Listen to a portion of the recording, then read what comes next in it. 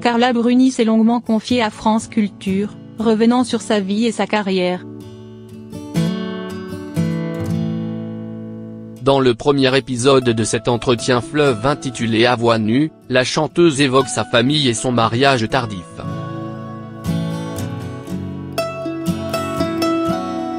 Carla Bruni Sarkozy explique pourquoi elle s'est mariée sur le tard droit d'auteur agence Bestimage Carla Bruni Sarkozy explique pourquoi elle s'est mariée sur le tard. Carla Bruni, c'est d'abord une enfance pas comme les autres.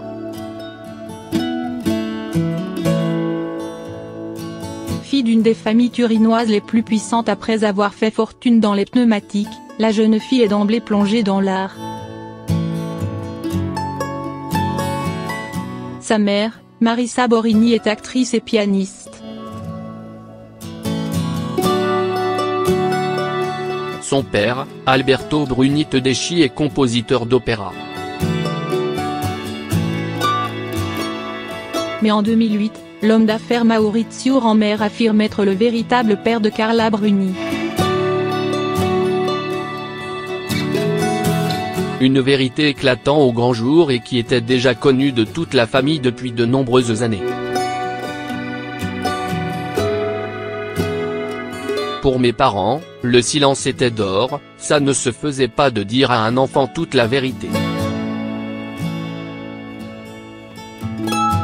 Ma mère a ouvert des yeux comme des soucoupes quand je lui ai dit, tu aurais pu me le dire.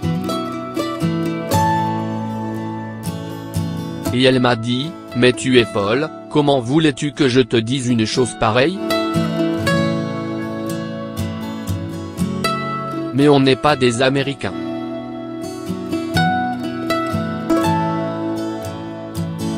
Tu dois protéger les gens que tu aimes et tu dois les protéger par le mensonge explique Carla Bruni avec légèreté et humour.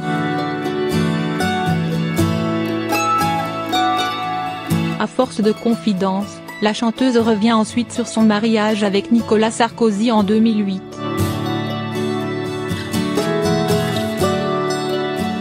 La première fois que je me suis marié c'était à 40 ans. Donc assez tard.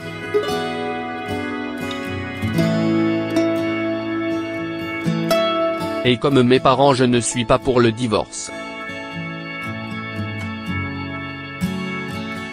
Je ne me suis pas mariée avant d'être prête et désireuse de le faire avec précisément cet homme-là affirme l'artiste comme un hommage à l'ancien président de la République.